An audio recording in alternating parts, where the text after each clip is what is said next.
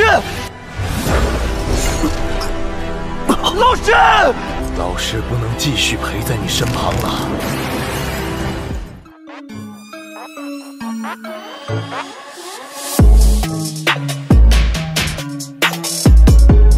Halo para tetua, para pecinta Battle True Defense dimanapun kalian berada Gimana nih kabar para tetua yang selalu stay dan udah selalu meramaikan kolom komentar Udah siap kancut dong dengan perjalanan dari Mang Oyan Gue hilang gak usah pakai lama-lama lagi Kita kancutkan perjalanannya dan selamat berimajinasi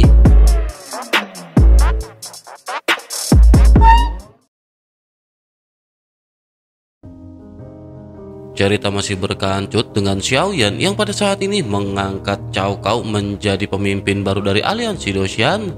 Cao Cao juga pada saat ini sedikit terkejut dengan semua yang telah dilakukan oleh Jin Taiwei. Sementara itu Xiaoyan pada saat ini segera berkata bahwa Xiaoyan telah mencari jiwa Jin Taiwei. Xiaoyan mempelajari sebagian ingatan tentang mansion surgawi dari Jin Taiwei. Namun ingatan tersebut tampaknya merupakan kenangan yang relatif rahasia di mansion surgawi. Xiaoyan benar-benar ingin tahu apakah Jin Taiwei pernah ke mansion surgawi ataukah ia pernah berafiliasi dengan mansion surgawi. Xiaoyan pada saat ini sedikit merenung memikirkan bintik-bintik bayangan yang didapatkan dari Jin Taiwei. Bersama dengan hal tersebut, Yang Mulia Ratu di belakang Xiaoyan perlahan mulai berbicara bahwa sejauh yang ia tahu, Jin Taiwei dari aliansi Doshan seharusnya hanyalah sebuah klon. Mendengar hal tersebut, Xiaoyan dan Cao Cao seketika berkata serempak ketika bertanya apakah ia benar-benar klon. Yang Mulia Ratu pada saat itu mengangguk dan berkata bahwa Jin Taiwei seharusnya merupakan klon dari salah satu dari sepuluh Raja Roh Dimension Surgawi.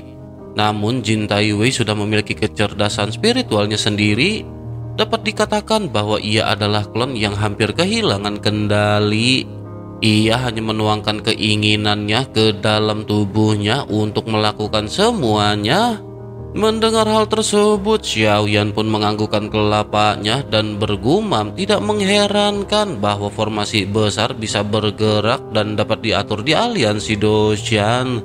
Memikirkan hal ini, Xiaoyan segera menyadari bahwa formasi yang sebelumnya ditampilkan oleh Mansion Surgawi bukanlah metode yang biasa.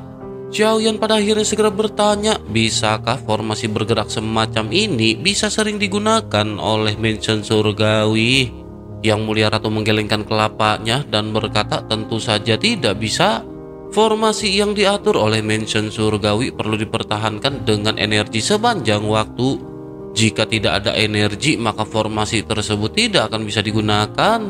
Jika saja aliansi Dosian tidak memiliki sumber daya yang cukup, formasi ini juga tidak akan mungkin bisa dipertahankan. Dengan begitu, maka formasi ini tidak akan bisa digunakan untuk memindahkan mansion surgawi ketika menyerang Xiaoyan. Dibutuhkan sumber daya yang sangat besar bagi mereka untuk mengoperasikan formasi tersebut. Selain itu, semakin banyak orang yang dipindahkan, maka akan semakin besar biayanya. Tampaknya Mansion Surgawi telah menghabiskan banyak biaya untuk menghabisi Xiaoyan kali ini. Xiaoyan pun menganggukkan kelapanya dan Xiaoyan pada saat ini memikirkannya dengan hati-hati. Sementara itu Yang Mulia Ratu pada saat ini kembali berkata bahwa semua ini benar-benar tidak sederhana yang dibayangkan oleh Xiaoyan. Selain dari sumber energi dewa yang besar, kekuatan keabadian juga perlu dicurahkan ke dalam formasi tersebut. Bahkan membutuhkan energi dunia bagi Xiaoyan untuk bisa mengaktifkan formasi tersebut. Jika memikirkan mengenai hal ini, bukankah akan mengkonsumsi banyak biaya jika Xiaoyan ingin menggunakan formasi tersebut? Xiaoyan pun mengagukan kelapanya dan Xiaoyan pada saat ini hanya bisa menghela nafas.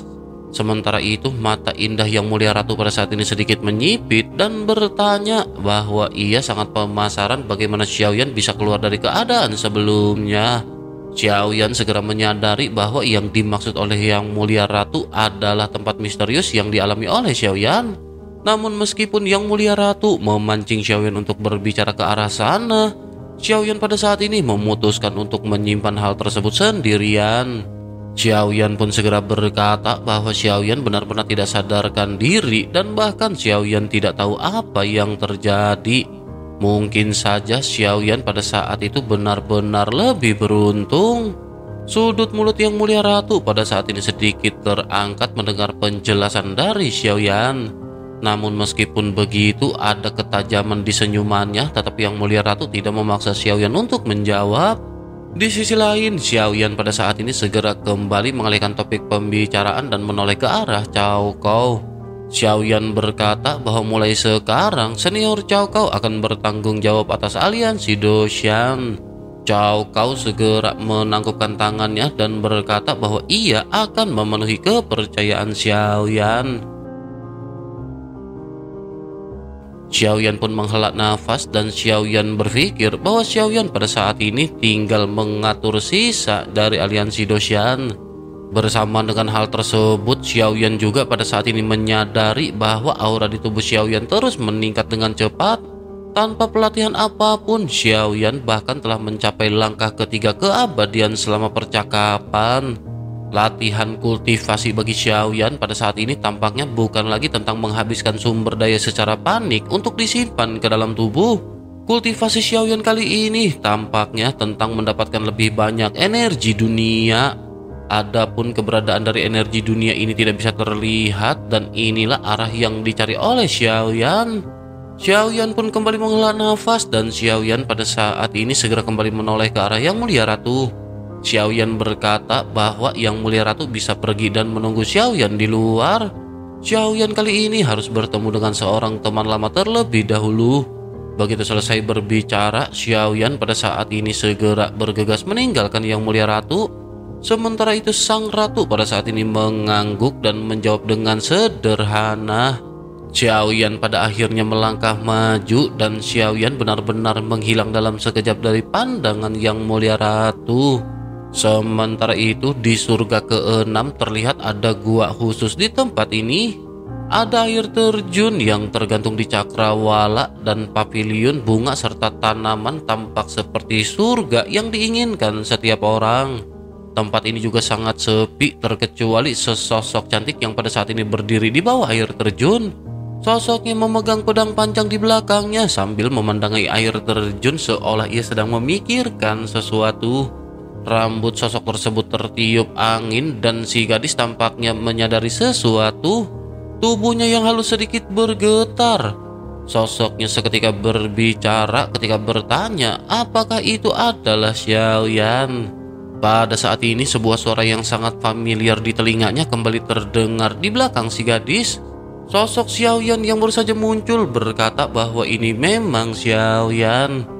Gadis yang ternyata adalah Yun Yun pada saat ini segera menggigit bibir merahnya dengan ringan sebelum akhirnya bertanya mengapa Xiaoyan masih di sini untuk menemuinya. Xiaoyan berbicara bahwa ia pada saat ini ingin berbicara dengan Yun Yun. Yun Yun pun seketika menoleh menatap ke arah pria yang ternyata adalah Xiaoyan yang tersenyum ketika menatap ke arahnya. Yun Yun bisa merasakan adanya fluktuasi yang muncul di mata Xiaoyan yang pada saat ini masih terlihat tenang. Yun Yun pada saat ini sedikit terkejut, tetapi meskipun begitu, Yun Yun pada saat ini masih tetap terlihat tenang. Yun Yun pada akhirnya mengajak Xiaoyan untuk bergegas ke pavilion. Yun Yun mempersilahkan Xiaoyan duduk dan pada saat ini Yun Yun menyediakan teh untuk minum-minum bersama. Keduanya memulai perbincangan santai dengan membahas teh yang mereka minum. Sesaat setelah itu, Xiaoyan pada saat ini terlihat memiliki ekspresi yang dipenuhi dengan kesedihan di matanya. Xiaoyan juga pada saat ini segera menjelaskan kepada Yun Yun bahwa benua Doki telah menghilang. Yun Yun seketika menatap ke arah Xiaoyan dengan penuh kekagetan. Yun Yun segera bertanya apakah sesungguhnya yang telah terjadi. Siapakah yang memiliki kemampuan untuk bisa menghancurkan dunia? Mata indah Yun Yun pada saat ini melebar dan ketenangan serta kebijaksanaannya pada saat ini menghilang. Bagaimanapun bagi Xiaoyan dan Yun Yun, benua Doki adalah kampung halaman mereka. Meski ribuan tahun telah berlalu dan segalanya telah berubah, tempat tersebut sepertinya masih menjadi kenangan di dalam jiwa terdalam masing-masing. Namun sekarang kenangan tersebut tampaknya benar-benar menghilang bersamaan dengan rumah mereka yang hancur. Yun Yun tiba-tiba menunjukkan ekspresi sedih dan untuk sesaat Yun Yun tidak tahu harus berbuat apa. Sementara itu Xiaoyan pada saat ini lanjut menjelaskan bahwa dunia asing menyerbu kehampaan laut barat. Selain benua Doki, benua Dodi juga pada saat ini telah dihancurkan lebih awal.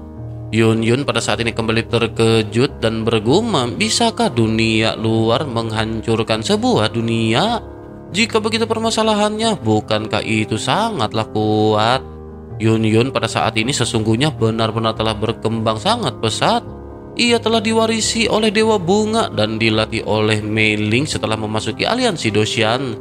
Kekuatannya telah meningkat tetapi setelah mendengar berita dari Xiaoyan, ia masih mengira bahwa apa yang terjadi pada saat ini hanyalah sebuah ilusi.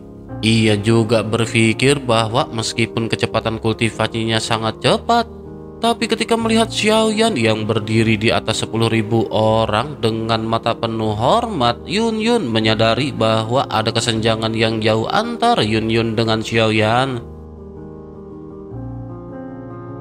Yun Yun pada saat ini termenung sebelum akhirnya Yun Yun merasa bahwa perasaan ini sangat familiar. Yun Yun seketika menoleh ke belakang. Yun Yun menyadari bahwa pemuda yang pada saat itu berada di dalam gua yang hanya bisa menatapnya bertempur dengan Raja Singa bersayap ametis telah tumbuh menjadi semakin kuat.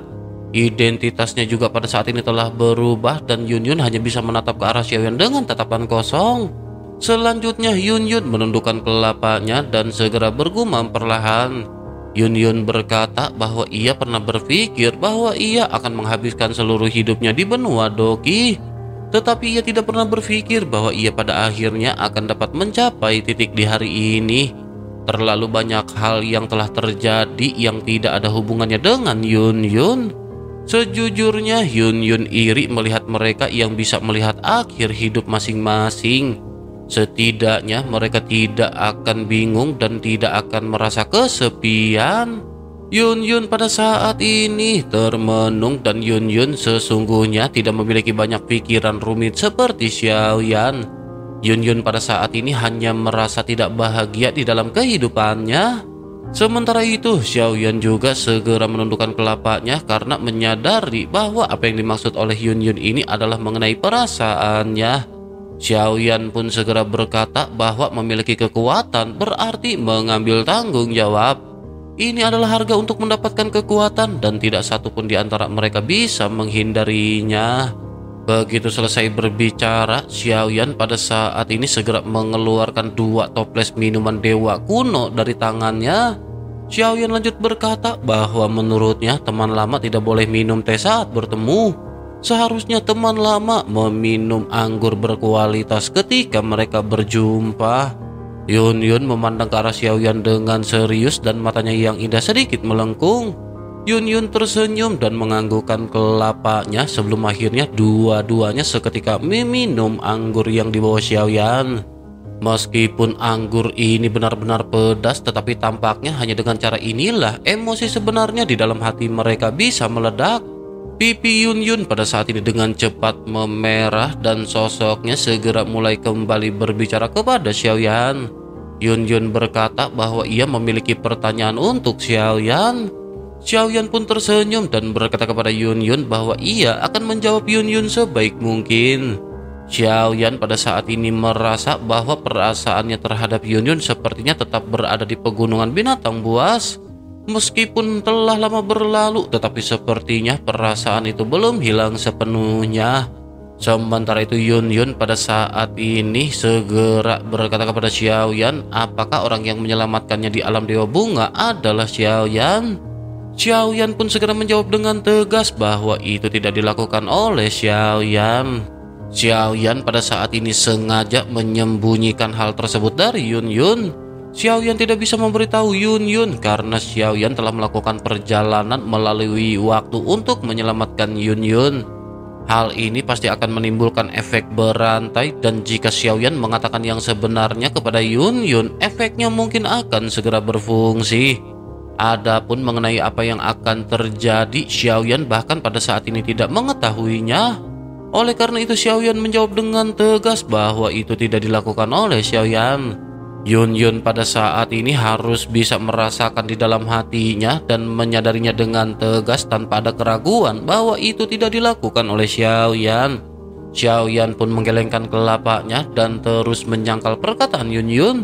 Xiao Yan berkata dengan tegas bahwa Xiao Yan belum pernah datang ke alam dewa bunga. Yun Yun pun mengangguk dan Xiao Yan pada saat ini sedikit tersenyum. Kompik antara keduanya pada saat ini tidak terus berlanjut. Mereka hanya mengobrol santai dan Yun Yun sesekali mendengarkan Xiao Yan berbicara tentang masa lalu. Senyum manis juga pada saat ini muncul di wajahnya. Waktu pun terus berlalu tetapi semakin lama sepertinya kedua orang yang minum-minum ini bukan lagi orang-orang yang sama seperti orang yang pada saat sebelumnya. Mereka berdua tampaknya telah melepaskan perasaan mereka masing-masing dan meninggalkannya di pegunungan binatang buas. Xiao Yan yang meminum banyak anggur pada saat ini segera berkata kepada Yun Yun bahwa Yun Yun telah memiliki guru yang baik ia harus mendengarkan gurunya dan Yun Yun harus terus bekerja keras untuk meningkatkan kekuatannya. Lakukan apa pun yang ingin Yun Yun lakukan, tidak peduli apakah dunia ini hancur atau tidak. Yun Yun pada saat ini mengangguk dengan senyuman manis yang belum pernah muncul sebelumnya di domain bunga ataupun di aliansi Doshan. Senyumnya benar-benar sangat manis dan Yun Yun tampaknya sangat bahagia ketika berada di samping Xiao Yang. Di tengah-tengah keduanya yang pada akhirnya menjadi semakin rileks, Yun Yun pada saat ini sedikit ragu segera mulai kembali berbicara. Yun Yun berkata monyong-monyong ia telah bermimpi tentang pegunungan binatang buas beberapa kali.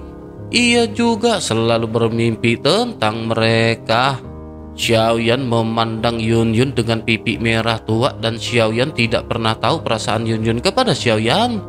Pada saat itu, Xiaoyan hanyalah seorang pemuda bodoh. Sementara itu Yun Yun memikul misi dari sekte Misty Cloud dan pada akhirnya bertemu satu sama lain di waktu yang salah. Xiaoyan pada saat ini juga sedikit bingung dan Xiaoyan segera bertanya kepada Yun Yun apakah ini hanyalah mimpi. Yun Yun seketika mengangkat kelapanya dan pada saat ini tampaknya segala sesuatu di sekitarnya berubah dengan cepat. Sebuah gua dengan air terjun muncul di hadapan Yun Yun. Yun Yun sedang memegang beberapa suap ikan bakar di tangannya dan kejadian masa lalu pada saat ini menyelimuti benak Yun Yun. Apa yang terjadi di gua pada saat ini benar-benar kembali terulang kepada Yun Yun. Yun Yun pada akhirnya merasa tubuhnya panas dan sosoknya menatap ke arah Xiaoyan dengan mata yang sedikit kabur. Namun meskipun semua gambaran ini kembali muncul dan membuat Yun Yun sedikit bingung, kesadaran Yun Yun juga pada saat ini menjadi semakin jernih dan memberitahu Yun Yun bahwa semua ini hanyalah ilusi. Semua ini hanya mimpi, terlebih lagi ini bukan pertama kalinya Yun Yun mengalami hal tersebut di dalam mimpinya. Yun Yun segera teringat bahwa ia pada saat ini sedang meminum anggur dengan Xiaoyan. Yun Yun pun berkata bahwa sepertinya ia telah terjatuh dalam kondisi mabuk dan ia harus terbangun. Yun Yun pun seketika berdiri dan Yun Yun sedikit terhuyung-huyung. Lengan Xiaoyan tiba-tiba melingkari pinggang lembut dan ramping milik Yun Yun. Secara naluriah tubuhnya juga sedikit menegang namun kali ini Yun Yun tidak berbalik dan menampar Xiaoyan tetapi malah jatuh ke dalam pelukan Xiaoyan. Yun Yun yang sedikit tidak sadar pun bergumam alangkah baiknya jika obatnya saat itu lebih ampuh. Yun Yun pada saat ini tampak tidak melawan di tengah-tengah pelukan dari Xiao Yan. Sementara itu Xiao Yan juga seketika melepaskan ikat pinggang Yun Yun dengan cepat. Yun Yun pada saat ini mendengus dan suasana sekitar benar-benar tampak tidak lagi bisa dibendung. Yun Yun pada saat ini hanya bisa berpikir di dalam hatinya mengapa ia pada saat ini masih belum bisa bangun. Mengapa pada saat ini ia masih belum bisa tersadar sepenuhnya. Yun Yun pada saat ini hanya bisa merasakan perasaan tak berdaya di sekujur tubuhnya yang menjadi semakin kuat. Panas di tubuhnya seakan tidak bisa terkendali. Rok polosnya seorang terkelupas secara alami karena kulitnya terlalu halus. Tubuh Yun Yun pada akhirnya terekspos seluruhnya, sementara lengan kuat Xiao Yan langsung mendorong Yun Yun ke bawah. Kedua mata pada saat ini saling bertemu dan sepertinya keduanya pada saat ini benar-benar kehilangan akal. Yun Yun pada akhirnya kembali bergumam dengan suara rendah bahwa mimpi ini sangat terlihat nyata. Yun Yun pada akhirnya menjadi semakin rileks sebelum akhirnya suara erangan tiba-tiba terdengar dari mulut Yun Yun. Yun Yun menggigit bibir bawahnya dan ia pada saat ini tampaknya benar-benar sangat santai. Yun Yun tidak lagi mempertahankan harga dirinya sebagai pemimpin dari sekte Mystic Cloud. Oleh karena itu, ia pada saat ini tidak mencoba yang terbaik untuk menekan suaranya yang pada akhirnya bergema keluar gua. Adegan dokter-dokteran ini benar-benar berlangsung dan entah berapa lama hal tersebut berlalu. Pada akhirnya sosok Yun Yun pada saat ini terbangun dan wajah Yun Yun masih terlihat memerah. Matanya masih menunjukkan ekspresi kesepian karena di hadapannya sosok Xiaoyan benar-benar telah menghilang. Yun Yun pun bergumam apakah Xiaoyan pada saat ini benar-benar sudah pergi. Yun Yun pun melihat sekeliling dan Yun Yun melihat sebuah catatan yang digeletakkan di atas meja batu. Yun Yun segera mengambil dan melihat isi dari catatan tersebut. Rona merah di wajah Yun Yun pada saat ini seketika menjadi semakin intens. Yun Yun lanjut membaca tulisan yang pada saat ini ditinggalkan oleh Xiao Yan. Xiao Yan berkata bahwa kali ini Yun Yun tidak menolak Xiao Yan. Dengan begitu, maka cerita di antara mereka belum berakhir. Teruslah menjadi kuat dan lakukan apa pun yang ingin dilakukan oleh Yun Yun. Setelah semuanya tenang, jika Yun Yun bersedia, maka Xiaoyan akan mendatanginya lagi. Yun Yun pada saat ini tersipu dan di bawah dari surat peninggalan Xiaoyan, Xiaoyan juga meninggalkan cincin penyimpanan. Yun Yun pun segera mengambil cincin penyimpanan dan Yun Yun pada saat ini sedikit tersenyum. Selain dari sejumlah besar pil origin ki ada juga sepotong armor bagian dalam. Armor ini disiapkan khusus oleh Xiaoyan untuk Yun Yun yang senang menggunakan armor bagian dalam yang pas. Menyadari hal tersebut, Yun Yun juga pada saat ini benar-benar merasa tersentuh dan matanya berbinar dengan cahaya sedikit kebiruan. Sementara itu di lantai atas dari pavilion 9 surgawi yang merupakan aula yang paling megah terdapat ratusan sosok yang berdiri di sana. Mereka semua adalah anggota kelopak bunga yang merupakan tulang punggung dari aliansi Dosyan. Ada juga sosok yang berdiri di hadapan mereka dan sosok ini adalah Xiaoyan. Mata semua orang pada saat ini terfokus pada Xiaoyan karena sebelum meninggalkan aliansi Dosyan, Xiaoyan masih harus membuat beberapa penjelasan. Mata Xiaoyan pada saat ini sedikit menyipit dan Xiaoyan segera berkata agar semua orang pada saat ini mendengarkan perkataan Xiaoyan. Sementara itu, Cao Kao yang berdiri di samping Xiaoyan menatap ke arah sosok-sosok yang berada di hadapannya dengan sedikit bingung. Wajah-wajah mereka sepertinya sering terlihat di aliansi Doshan namun mereka tampak tidak mencolok. Selain itu ada juga di antara mereka yang tidak pernah terlihat di aliansi Doshan. Sementara itu kembali ke Xiaoyan yang pada saat ini tampak serius ketika Xiaoyan mulai berbicara. Xiaoyan berkata bahwa Xiaoyan tidak akan tinggal di aliansi Doshan untuk saat ini. Mulai sekarang senior Cao Kao untuk sementara akan menjabat sebagai pemimpin aliansi Doshan. Dengan begitu maka perintahnya pada saat ini harus dipatuhi. Begitu selesai berbicara, Xiaoyan segera menoleh ke arah Cao Kao dan berkata bahwa aliansi Doshan perlu tumbuh menjadi lebih kuat di waktu berikutnya. Mereka harus menyerap lebih banyak orang jenius dan orang kuat untuk membentuk pasukan aliansi Doshan yang benar-benar terlatih. Waktu hampir habis dan mereka benar-benar harus bersiap untuk menghadapi perang yang akan datang. Ini merupakan tugas penting dan ini juga diberikan kepada setiap anggota kelopak bunga. Mereka harus mengabdikan diri mereka karena mereka tidak memiliki waktu yang tersisa untuk sensi. Para anggota kelopak bunga pada saat ini segera menangkupkan tangannya begitu mendengar apa yang dikatakan oleh Xiaoyan. Sementara itu Cao Kao juga pada saat ini segera menangkupkan tangannya dan berkata bahwa Cao Kao pasti akan memenuhi kepercayaan Xiao Yan. Xiao Yan menganggukkan kelapanya dan berkata bahwa jika senior mengalami kesulitan, maka senior bisa mendatangi orang-orang ini. Semua orang di anggota kelopak bunga akan menjadi tetua baru aliansi Doshan. Mereka akan menggantikan semua tetua lama di aliansi Doshan. Mereka akan membantu senior Cao untuk menyelesaikan semua permasalahan yang ada di aliansi Doshan. Sementara itu Xiaoyan pada saat ini harus segera pergi untuk mendapatkan kembali kekuatannya. Sebelum Xiaoyan kembali, Xiaoyan berharap bisa melihat aliansi Doshan yang jauh lebih kuat. Oleh karena itu Xiaoyan pada saat ini benar-benar meminta tolong kepada semuanya.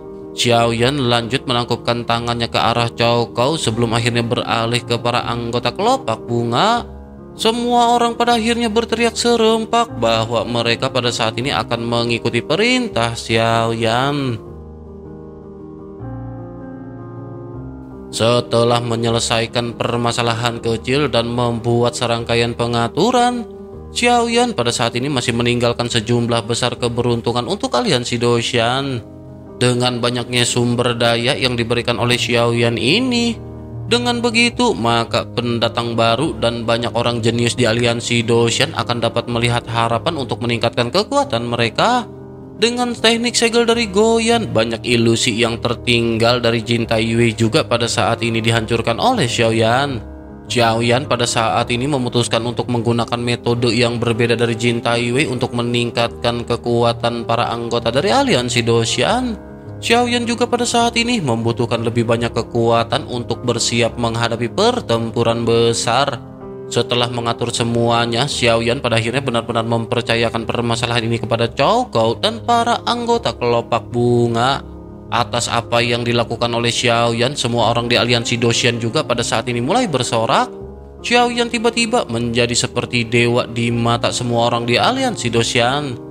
Setelah Xiaoyan pergi dengan apa yang ditinggalkan oleh Xiaoyan, peluang peningkatan kekuatan dari banyak orang pada saat ini benar-benar ikut ditingkatkan. Hal ini sepenuhnya menjadikan Xiaoyan benar-benar sangat berharga di benak semua orang di aliansi Doshan. Setelah melakukan semua ini, Xiaoyan pada akhirnya segera datang ke bahtera rumah hantu. Xiaoyan tidak memiliki waktu yang baik untuk mengenang masa lalu dan sepertinya Xiaoyan harus segera mengucapkan selamat tinggal lagi kepada semua orang. Namun Yang Mulia Ratu pada saat ini menyadari apa yang sesungguhnya difikirkan oleh Xiaoyan. Yang Mulia Ratu pun memandang ke arah Raja Tianzang dan mulai berbicara perlahan. Yang Mulia Ratu berkata bahwa jika berbicara tentang dunia bawah, Tampaknya sudah lama sekali sejak Raja Tianzang mengunjungi alam dewa kuno. Yang mulia ratu ingin tahu apakah Raja Tianzang pada saat ini tertarik untuk melakukan perjalanan ke alam dewa kuno. Raja Tianzang segera mengerti apa yang pada saat ini dimaksud oleh Yang Mulia Ratu. Xiaoyan telah sangat lama tidak berkumpul dengan keluarganya dan ini merupakan kesempatan yang bagus untuk Xiaoyan. Raja Tianzang pun tertawa dan berkata karena Yang Mulia Ratu secara pribadi telah mengirim undangan. Tentu saja Raja Tianzang pada saat ini merasa terhormat. Ia juga mendengar bahwa ada ribuan anggur berkualitas di alam dewa kuno. Dengan begitu, maka ia harus pergi dan mencipi-cipinya. Yang Mulia Ratu mengangguk, begitu juga dengan Raja Tianzang dan semuanya pada akhirnya segera berangkat ke alam dewa kuno. Di dalam perjalanan kalam dewa kuno, Xiao Yan pada saat ini sekali lagi terus mengobrol dengan orang-orang dari tim Fearless. Namun semua orang pada saat ini terdiam sejenak ketika Xiao Yan menyebutkan tentang benua Dodi dan benua Doki. Tidak ada di antara mereka yang pada saat ini merasa senang menyadari bahwa mereka tidak lagi memiliki kampung halaman. Sementara itu Xiao Zhan pada saat ini juga memiliki ekspresi kesepian di matanya. Sosoknya segera memandang ke arah Xiaoyan dan bertanya kekuatan macam apa yang dimiliki oleh Tuan Muda Xiaoyan. Tampaknya mereka saat ini benar-benar menjadi semakin jauh dari Tuan Muda Xiaoyan. Ia pikir dengan berlatih keras di dunia bawah, ia akan bisa mengejar ketertinggalan dari Tuan Muda Xiaoyan. Ia tidak pernah menyangka bahwa Tuan Muda Xiaoyan akan tetap berada jauh di atas mereka. Semua orang pada saat ini sedikit mengangguk mendengar apa yang dikatakan oleh Xiao Zhan. Tentu saja bukan hanya Xiao Zhan yang telah berlatih mati-matian untuk mengejar ketertinggalan terhadap Xiao Yan. Namun tidak peduli seberapa keras mereka mencoba, pada akhirnya mereka menjadi semakin jauh dengan Xiao Yan. Sementara itu Xiao Yan pada saat ini tersenyum dan berkata bahwa sebaiknya mereka pada saat ini minum-minum banyak anggur. Xiaoyan juga sesungguhnya memahami pemikiran dari semua orang. Mereka tidak perlu memberikan terlalu banyak tekanan pada diri mereka masing-masing. Mereka sudah sangat kuat. Sekarang mereka telah menjadi anggota dari dunia bawah dan mereka tentu akan bisa mengerahkan kekuatan terbesar mereka. Mereka juga pada saat ini akan berhadapan dengan bencana dan mereka tidak akan bisa lolos dari bencana tersebut. Namun Xiaoyan pikir pada akhirnya mereka semua akan berjuang satu sama lain untuk sensi. Mendengar hal tersebut, semua orang pada saat ini mengangguk sementara Xiaozan pada saat ini kembali mulai bertanya kepada Xiaoyan. Xiaozan bertanya kekuatan apa yang dimiliki oleh Tuan Xiaoyan sekarang. Jika dibandingkan dengan Raja Tianzang, siapakah yang lebih kuat? Mendengar hal tersebut, Feng Feng pada saat ini ngeplak telapak bagian belakang dari Xiaozan. Feng Feng tampak terlihat kesal setelah Xiaozan menanyakan pertanyaan yang sama seperti sebelumnya. Namun meskipun begitu, Feng Feng juga tampaknya sangat pemasaran dengan kekuatan Xiaoyan. Sementara itu Xiaoyan segera berkata bahwa tentu saja Raja Tianzang lebih kuat daripada Xiaoyan. Masih ada kesenjangan yang sangat besar di antara Raja Tianzang dan Xiaoyan. Untuk menghadapi pertempuran yang akan datang, Xiaoyan benar-benar masih harus menjadi lebih kuat. Mendengar apa yang dikatakan oleh Xiaoyan, Sun Er yang duduk di sebelah Xiaoyan mulai berbicara dengan lembut. Sun Er bertanya apakah kakak Xiaoyan akan pergi. Xiaoyan pun mengeluarkan tangannya dan memeluk Sun Er sebelum akhirnya berkata bahwa mungkin jika perang ini gagal, Sensi akan menghilang, begitu juga dengan semua orang. Meskipun benua Dodi hilang, semua orang masih akan tetap berada di sana. Selama Sensi masih ada, maka akan selalu ada benua Dodi kedua. Sun Er mengerti apa yang pada saat ini dimaksud oleh Xiaoyan dan Sun Er juga bisa merasakan apa yang dialami oleh Xiaoyan. Sun Er secara alami telah melihat perjalanan yang telah dilalui oleh Xiaoyan. Xiao Yueli juga terus-menerus berada di samping Xiaoyan ketika Xiaoyan berada di tengah-tengah kesulitan. Hanya Sun Er yang pada saat ini tidak memiliki kekuatan yang cukup untuk membantu Xiaoyan. Selain itu jika dipikir-pikir, Xiao Yueli masih mending karena ia memiliki Raja Tianzang yang selalu melindunginya. Sementara itu Xiaoyan berjuang sendirian di dunia yang luas untuk meningkatkan kekuatannya. Melihat Sun Er yang pada saat ini sedih, Xiaoyan pun mengusap bahu Sun Er. Xiaoyan berkata bahwa semuanya akan baik-baik saja. Xiaoyan yakin suatu hari nanti semuanya akan kembali menjadi tenang. Xiaoyan harap mereka akan masih bisa seperti ini dengan semua orang yang masih berada di sini. Xiaoyan tersenyum menghibur Sun Er yang pada saat ini tampak terlihat sedih. Sun Er menganggukkan kelapanya sambil tersenyum dan Sun Er segera mengesampingkan permasalahan ini.